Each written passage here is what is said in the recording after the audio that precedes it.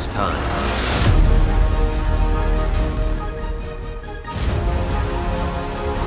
You cannot be serious!